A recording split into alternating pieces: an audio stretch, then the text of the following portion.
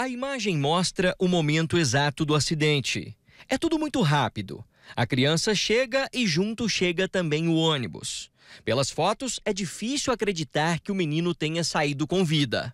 Deus me deu a calma na hora. Eu fui lá, sentei, agachei lá, coloquei o rosto nele. Falei, calma, meu filho, calma, a madrinha tá aqui, a mamãe tá aqui, o papai tá aqui, tá?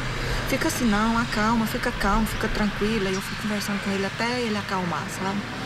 A madrinha da criança conta que os pais estão com ele no hospital.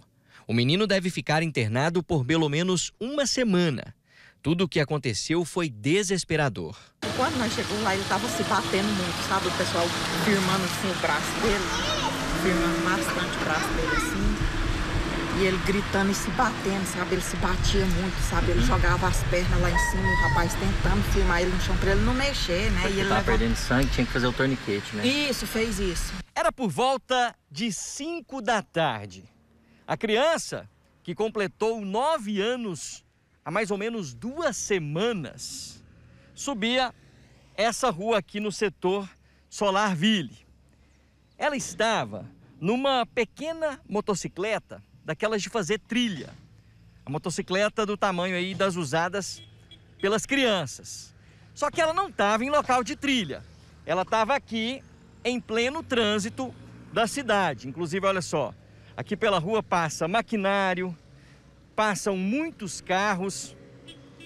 Inclusive, no momento do acidente, tinha um maquinário bem ali, naquele ponto, um pouco para frente desse carro.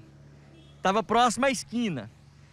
E esse equipamento, esse maquinário, acabou tampando a visão do menino que subia na pequena moto e também do motorista de ônibus, até porque aqui é uma linha. Essa aqui é a Alameda Higino Pires Martins, a principal via aqui do setor Solarville. O ônibus vinha de cá, o garoto por aqui. Quando ele não teve a visão, ele acabou parando a moto um pouco à frente. Nisso, o ônibus atingiu o garoto e ele foi arrastado. Aqui tem as marcas de areia no chão. Ele acabou arrastado por alguns metros. O menino, de 9 anos, parou embaixo do ônibus, mais ou menos neste ponto. O menino foi levado para o UGOL, Hospital de Urgências, aqui da região noroeste, passou por cirurgia, teve o braço direito amputado e agora se recupera no hospital.